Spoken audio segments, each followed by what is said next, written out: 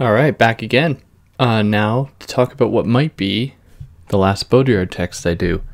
Um, I got a request to do the Evil Demon of Images, and I might still do it in the future. But the thing that has deterred me is the fact that it's all on YouTube already. Uh, there's already, I think, a clip of Baudrillard delivering it, and it's pretty much the same as everything else. Uh, so, and it's short, so I, I think that I'm having trouble justifying going ahead and doing it, but who knows? I might cave. Uh, but today, this would be Baudrillard's last book and the last book that I'll kind of take on. But besides this one, uh, there are a few that are essentially just collections of essays. Uh, for for example, screened out. So in that text, there are a number of different things taken up by uh, Baudrillard that really resonate with some of his early work and stuff all the way through. Uh, but i am going to leave that one for people to read on their own if they're interested. However, I want to take the time starting out here to discuss something that he brings up in that text or is among the essays in that text that I think is really important, and that is his discussion about diseases, specifically cancer and uh, and AIDS. So I'll start there with this essay from Screened Out, which appears in other places as well. Uh, but I'll talk about that and then move into the intelligence of evil. So, in Screened Out, at least the first chapter, uh, titled Prophylaxis and uh, Virulence, Virulence, or sorry, AIDS, Virulence, or Prophylaxis, Baudrillard is wondering to what extent um, a disease or autoimmune disorder, uh, such as AIDS, how that is a symptom of a greater cultural uh, kind of malaise, which isn't to say that it only comes about because of that, but I think that he paints a really interesting portrait.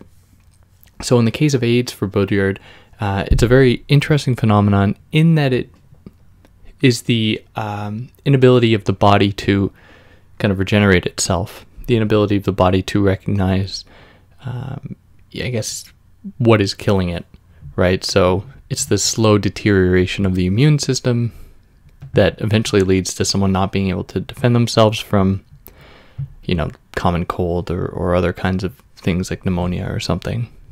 So for Baudrillard, AIDS, in his words, uh, makes its appearance when a body, system, or network expels all its negative elements and resolves into a combinatorial of simple ones, so, in relation to this, he says that the AIDS body is the body damaged and impaired in its immune systems, in its systems of controls and antibodies. So, he opposes AIDS with another disease, that is cancer, that for does almost the opposite. So, in AIDS, there is um, a slow deterioration of the body, whereas in cancer, there's a proliferation of cells. So, while those things aren't obviously the opposite in a um, you know medical context. Uh, the the picture he he he paints with them in this way, I think, is is is fair. So of cancer, he says that the body, uh, the body of cancer is the body fallen victim to the disruption of its genetic formula. But what is similar between these two diseases for Baudrillard is that they are both illnesses of a codified modeled body. They are sicknesses of the code and the model. So the code and the model go back as early as Baudrillard's first works, his first texts, uh, when he suggests that the code is essentially is a, it's a difficult thing to define, but uh, he lays it out as being the kind of total structuration or the total um, containment of the world under a certain logic. So this being the code.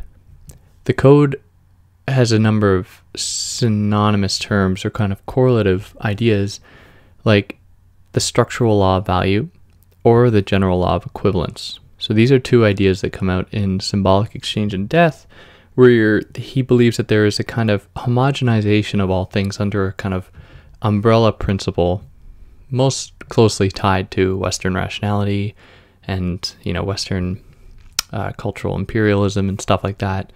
That submits all different cultures, all different ideas to uh, to its you know to its own authority. So these two diseases, Baudrillard says, are horrible, like they're absolutely terrible.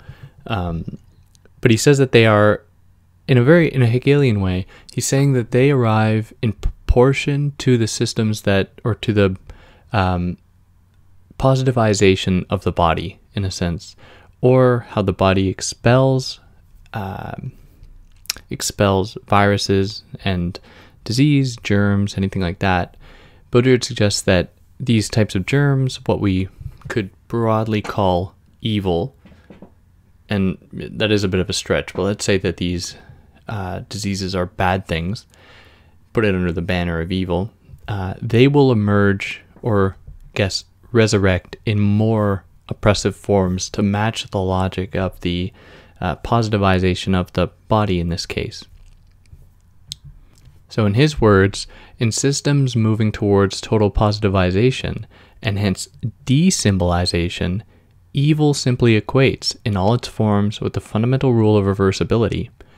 So, this is his one of his, I, I guess, uh, maxims. That is that reversibility is always present.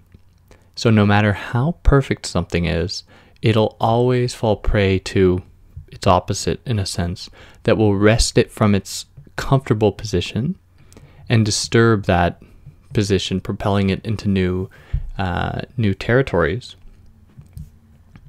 And this is closely linked with the idea of seduction, so that thing being seduced from its position into something new, something other than itself. So, for those that listened to the last one I did on Baudrillard, um, he presents us with the idea of ventriloquist evil. So, that's the idea of evil coming out in different ways in this kind of uh, in the paradigm that we find ourselves in, that is one of total posit- positivity. So, this, I guess, AIDS and cancer could be understood as ventriloquist evils because they are the manifestation of this thing called evil that is wholly necessary. Um, they are the manifestation of this thing called evil in a very bad form. So, these diseases follow or are still something to be a little bit wary of. So, we should uh, reserve our celebration of these diseases, of course. So, in Baudrillard's words, he says that the uninterrupted production of positivity has a terrifying consequence. If negativity engenders crisis and critique, absolute positivity, for its part, engenders catastrophe precisely through its incapacity to distill the crisis. So, a system that approaches perfection will inevitably cannibalize itself. It will inevitably become fall prey to its own logic or it will run the risk, in his words, uh, the risk of cancer, of a positivity devouring its own cells. The case of the body here, at least in its relation to disease, serves as a microcosm for Baudrillard to understand uh, the greater situation going on in society at large, where you have the symbolic falling prey to the technological, or illusion falling prey to rationality. You have, um, or as well, illusion falling falling prey to reality and simulation, which is really Baudrillard's or has been Baudrillard's concern since, you know, a text as early as I would say for a critique of the political economy of the sign, uh, when he kind of introduced these concepts and ideas. Now, this is where Baudrillard gets a little bit problematic. So, in imagining the point of these diseases, Baudrillard suggests that perhaps they serve the end of um, they serve the end of stopping the system from entering a, a, a point at which an even greater threat will be posed. So for him, one of the things that he writes against is the total explosion of liberation or a kind of liberatory project uh, that sees everything be realized, that sees everything be devoured by the, you know, or stripped and brought on stage by the jackals of you know Western uh, Western modernity. And so he says that AIDS and cancer are two things that prohibit that development to some extent, or prohibit that um, that act of bringing everything on stage and kind of put up barriers to slow the system down. So he suggests that maybe, in a sense, there is some use to it. Now, with that being said, of course, he recognizes that these things suck. Like I think that he he died of cancer uh, himself, uh, but there's no doubt that he disavows here. You know the real people suffering, and that's important to consider. So for him, these sudden whirlwinds, as he so he says, we call catastrophes are keeping are what keep us from catastrophe. So these anomalies, these extreme phenomena, recreate zones of gravitation and density which prevent things from dispersing totally.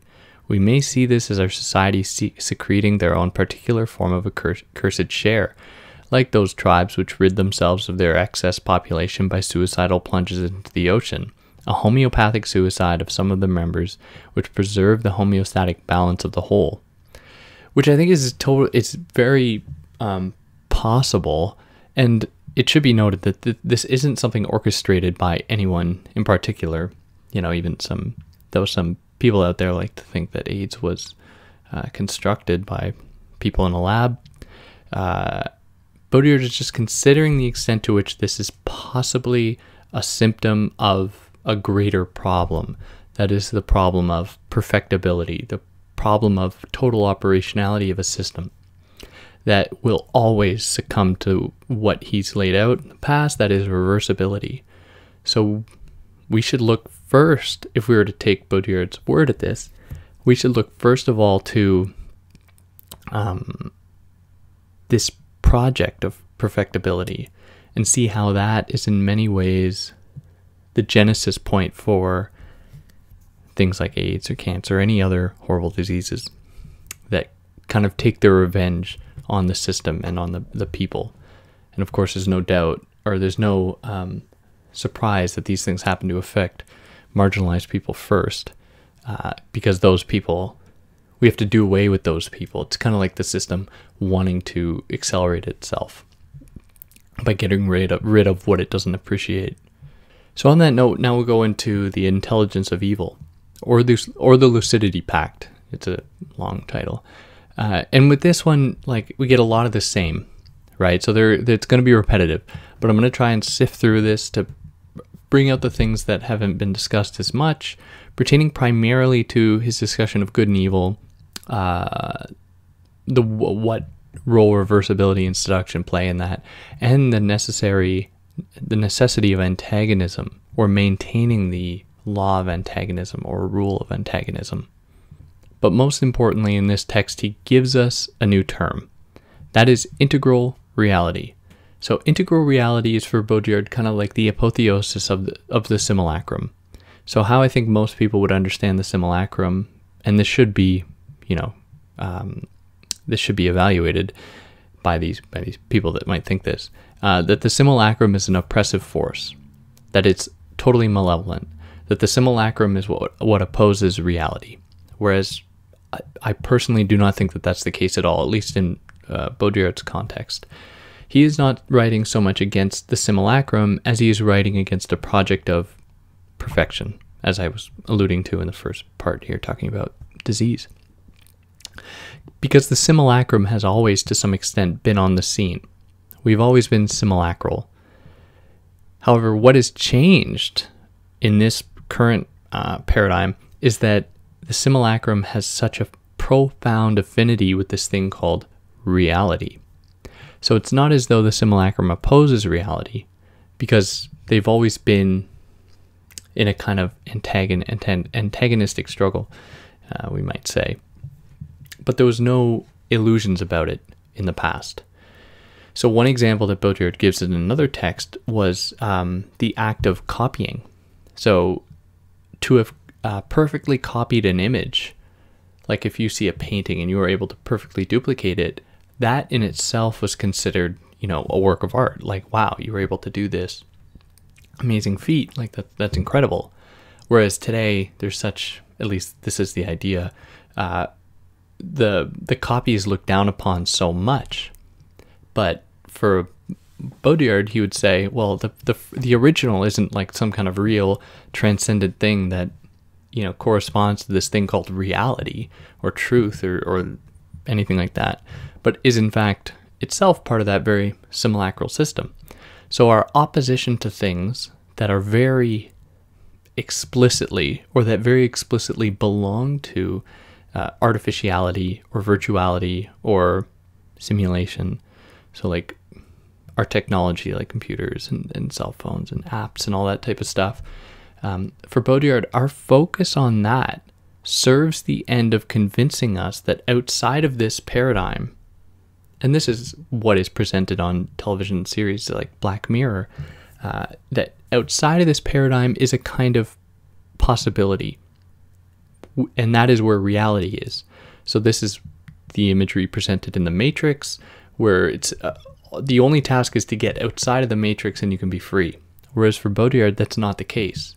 The problem for Baudrillard is precisely that narrative that there is this thing called reality that can be attained, and that that reality is unchanging and universal. Because for Baudrillard, all that is is just us submitting ourselves to most likely a kind of scientific logic that uh, is in itself the most oppressive because it forecloses possibility, it forecloses difference, kind of submitting everything to the neo imperialistic tendencies of you know Western rationality. So integral reality is the kind of the highest point of that climax, if you will. So in his words, what I call integral reality is the per- perpetrating on the world of an unlimited operational project whereby everything becomes real, everything becomes visible and transparent, everything is liberated. So we can get the sense with this this passage that I I think I'm being pretty faithful to Baudrillard's work here in my description of it. So, what we see then, or what he gives us, is a kind of, and it's ironic that this really comes out in his last book, really, because uh, he died just a couple of years, three years or so after this was released. But, anyways, I digress. Um, so, what is he? What is he? What he kind of mourns is not the death of reality, as some people who read Baudrillard might be want to think. Rather, it is the uh, death of illusion, which he tells us here, uh, of all places, in his last book, that this is what he's writing about. So, as he says, now the world, even freed from all illusion, does not lend itself at all to reality. The more we advance in this undertaking, the more ambiguous it becomes, the more it loses sight of itself. Reality has barely had a time to exist, and already it is disappearing. That is because we are entering the, entering the phase most often associated with the idea of hyperreality that sees that marks the end or us being freed, as I just read here, from all illusion. So illusion not corresponding to that uh, rational logic, right? So another example of this, to go back quite a few years to uh, his book Seduction, toward the end of that, he makes the case that it's quite sad that people don't believe in astrology, right? Because that for him is, in a sense, is um, for so well for so many years, people tried to understand the stars and tried to see their fate in the stars, and he says that there was so much meaning, kind of. Um, the stars were pregnant with so much meaning that it seemed so strange that almost all of a sudden people were saying, "What you believe in you know the stars are going to tell you your future or who you are or something like that. Like get out of here you crazy feminist. Like go screw off somewhere to which baudrillard is suggesting that you know all we really have are the stars. All we really have are stories or illusions metaphors. Metaphors are what make this world what it is. It isn't always um, not everything can be explained like axiomatically or by uh, theorems or stuff like that. We have to, for Baudrillard, and I think this is what a kind of Baudrillardian politics would look like, maintain some degree of illusion or some degree of mystery in order to keep, you know, new things developing, new ways of looking at the world. So integral reality being opposed to illusion is it is also opposed to another system, which is part of the illusion. So there are two. Uh, either there's integral reality, which he defines as follows, as similar to similarly to how I just did it: uh, the irreversible movement towards the totalization of the world. So that is what integral reality is, and that is opposed by what he calls the dual form, D-U-A-L, so challenge or agonism, which is the reversibility internal to the irreversible movement of the real. So there's always in that uh, setup it, or the dual form always implies a kind of antagonism that is always already there. Which, you know, I, I think someone listening to this or reading this book who's clever might say, well, Baudrillard, what what is the problem then? Because you're saying that integral reality is just kind of arriving at a perfect system, which is a bad thing. But then you're also saying that actually the dual form, that is reversibility, is internal to every irreversible system and is immanent to that very logic and is always there. So what is the problem? To to which I'd say, because I don't know if Baudrillard ever got a question like that. In I've read, I think every one of his interviews, but I he may have gotten this question somewhere, and I just don't remember. Uh, but I would say that that doesn't mean that the system isn't trying to get rid of this dual form. It isn't. Uh, it is always in the process of trying to exercise this dual form that corresponds to illusion and seduction and reversibility in order to arrive at a more perfect system. So, first and foremost, although this hasn't happened yet, we have to be prepared that it might happen and that currently the system is in the service of trying to make it happen. And some, someone else, or maybe the same hypothetical person, could ask, uh, What is the problem with a world completely total, a totalizing world. Um, because can't we, you know, extract meaning from a world no matter what kind of system it, it is? To which Baudrillard would say, and actually here's a quote So, for us, however, whatever its metaphysical beauty, this illusion is unbearable. Hence the need to produce all the possible forms of a simulacrum of meaning, of transcendence, things which all mask this original illusoriness and protect us from it. So for Baudrillard, the kind of original setup, that is the one that abides by the logic of illusion, was where, you know, meaning was housed. So in order to kind of curb that loss of meaning that comes out of the simulacrum or integral reality as we see it today, we feel the need to endlessly try to produce meaning in order to convince us that you know, we haven't lost it. So meaning comes out in, you know, insert example here. Like, I don't know, you find meaning in video games, you find meaning in biological determinism, you find meaning in X, Y, and Z, you find meaning in 12 rules for life. Like, as though we can clump these things into neat little boxes and make the world easily digestible. But it's very much a response, and this is something that Nietzsche was writing about or wrote about with the genealogy of morality when he said when he says that asceticism, so A S C E T I C I S M, asceticism, something like that, which is the principle of kind of um, inflicting harm on yourself or kind of hating yourself, and by virtue of hating yourself, wanting to punish yourself, and you live a very bad life because of it. So asceticism, Nietzsche says, is a response to a life uh, that is kind of lost meaning, right? So then we impose rules on ourselves, then we, you know, whip our backs, stuff like that, uh, to try and make up for this loss of meaning. And I think that the same is occurring today, where it doesn't resemble an ascetic life because we enjoy ourselves. But I think for Baudrillard, it'd be uh, like kind of an asceticism of happiness, kind of happy asceticism, where we don't know precisely because we are happy that we are living in a very a very ascetic life, where we don't have any kind of the problem isn't that we don't necessarily have meaning because it's it'd be difficult to really say what meaning is. But the problem is that we don't really reflect on that meaning. We we don't wonder like where does this meaning come from? is this meaning as it has always been, or is this an imposed kind of meaning? Uh, could my life be better with another kind of meaning? And so on and so forth. So we give all that up because there's a kind of proliferation of possibility of meaning. So we don't need to think about it because if we are unhappy for a moment, then we have X, Y, and Z other options immediately at our disposal. So uh, Lauren Berlant writes about this really well. She applies this to the term uh, cruel optimism or applies cruel optimism to this concept or this phenomenon that people attach themselves to things that they think will make them happy, but that instead do the exact opposite. So what Baudrillard says about this is that, be, but because the seduction of the world and of appearances is dangerous, we prefer to exchange it for its operational simulacrum, its artificial truth, and its automatic writing. So our task then, and, and in Baudrillard's words, it goes as follows: the task of philosophy is to unmask this illusion of objective reality, a trap that is, in a sense, laid for us by nature.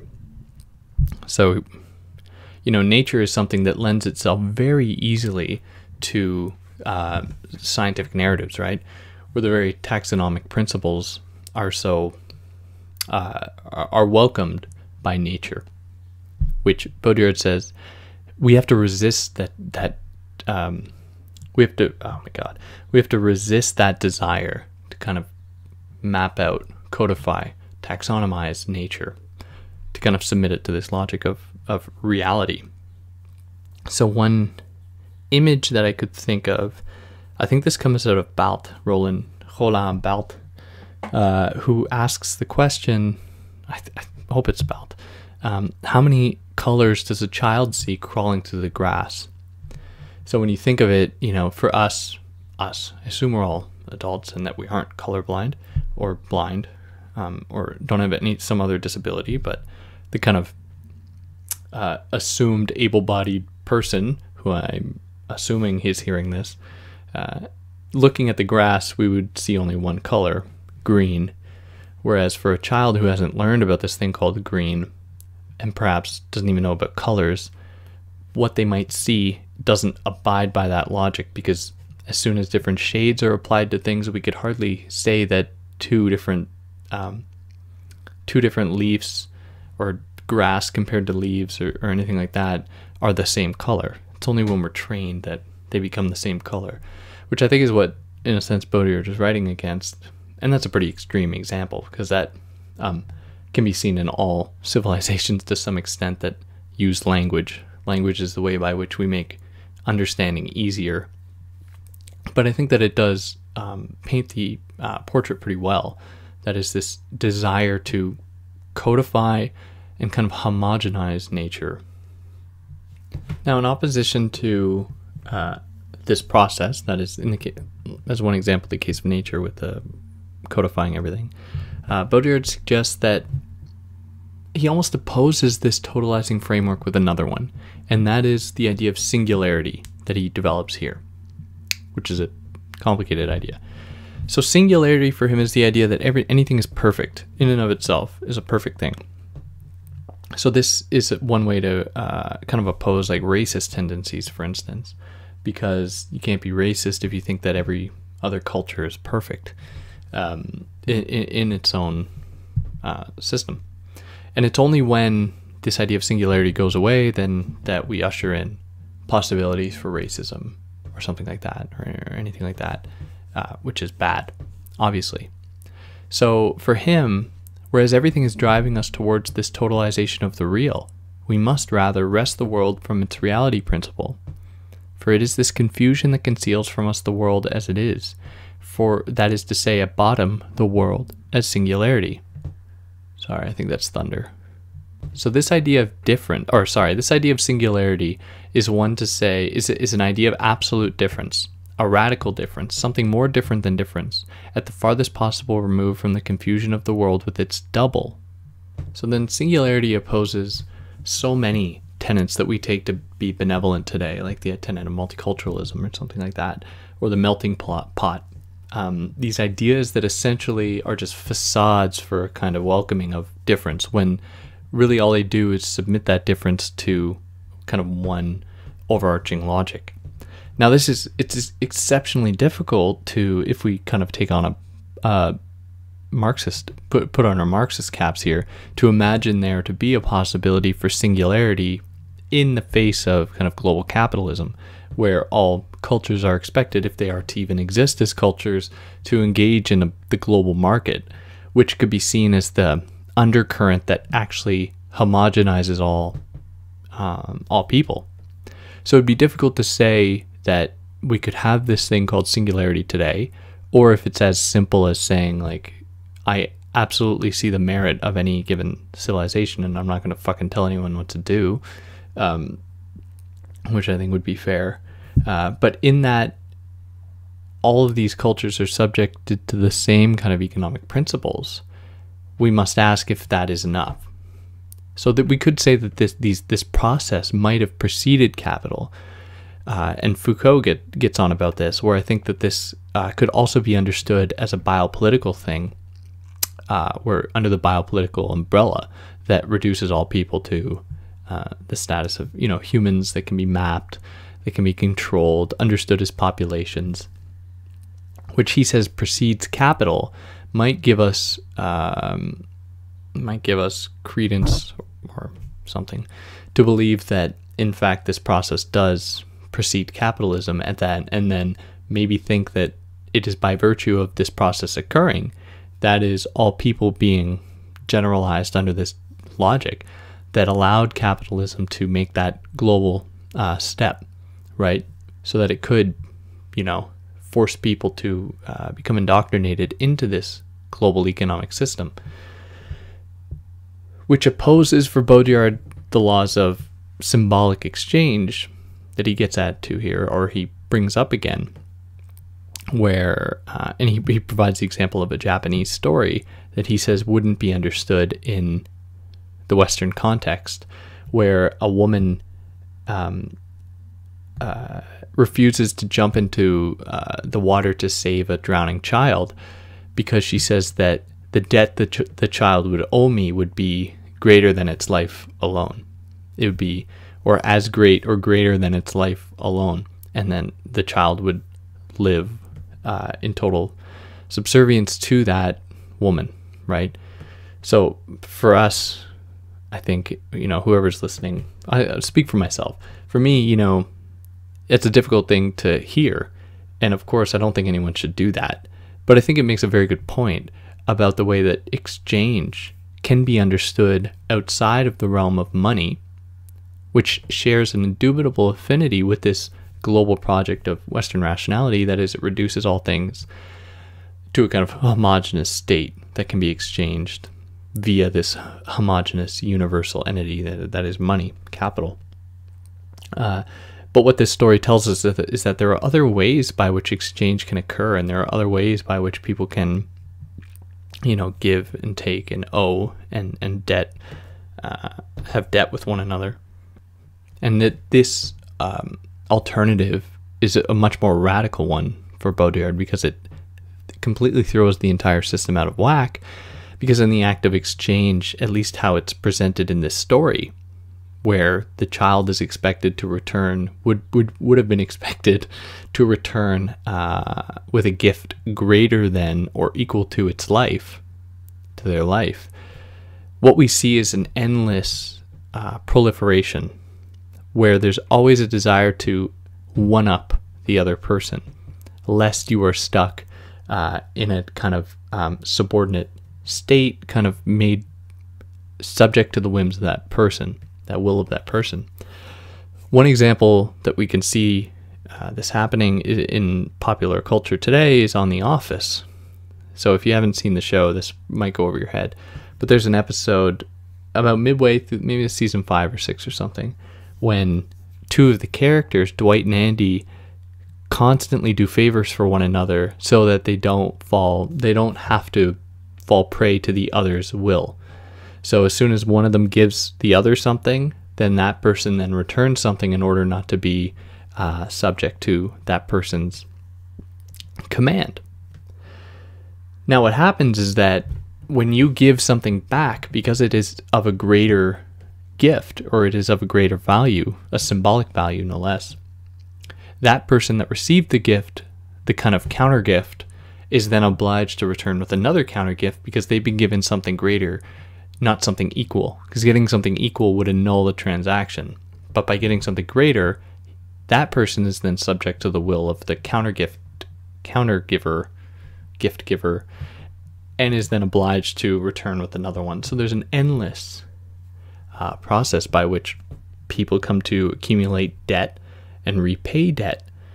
And that because these don't abide by, or they don't, they can't be easily resolved with a thing like money that is a general equivalent. What you see are developments in wacky and very strange ways. and that is presented in the show, where they go to odd lengths to satisfy or to return the gift. Now, what I think for Baudrillard is that that presents a moment of exchange that uh, represents possibility. It represents um, kind of drive towards the unknown, the perpetual unknown. Whereas with exchange, you know that anything can be resolved by just throwing money at it. This kind of fake thing uh, that we all accept to be real and, and true, and the the very smooth uh, equivalency that it represents that forecloses this possibility. I think, at least I think that's how Baudrillard gets at it here. So I don't know if there's. This is a long book, and I was really quick about it because a lot of it is uh, repetitive. But I mean, definitely go and read it. It's pretty accessible, I think, if you have a fair idea about what you know Baudrillard's project is about or what he's trying to do. Um, but yeah, if anyone listened to this and you know they have more, they feel like I didn't I, I didn't pay enough attention to a certain part. Uh, I was being deliberately quick because you know, yeah, it's either I'd be really quick or I'd be really thorough, and you'd hear a lot of what you probably already know.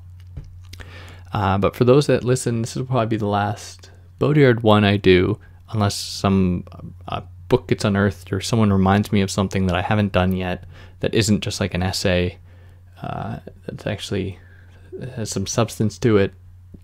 Uh, but otherwise, if you have any problems with what I did here, you know how to do it. As I normally say, I, would rather people leave comments that you know that we can keep a discussion going than you know subscribing. So if it comes down to one or the other, leave comments. Uh, I prefer that. But if not, do whatever you want. And then I'll see you next time. Take care.